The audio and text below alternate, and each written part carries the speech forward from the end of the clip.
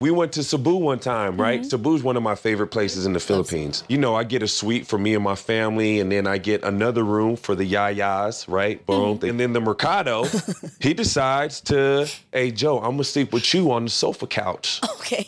I was like, I, I, I guess, all right. And and uh, there you go, me and him on the sleeping on the twin size sofa couch. The two of you? I'm this way. Yeah, me and me and him. okay? I just felt like it was. Yeah, I didn't know what to say. He put me in an awkward situation. I'm sleeping on this side here, and then you know Sol's kind of like on one arm on me. You know what I mean? And you know sometimes at night I got to do one of these, like back up. You know what I mean? Go away. And that was three nights. After the first night, you were like, you know what? Get your own room.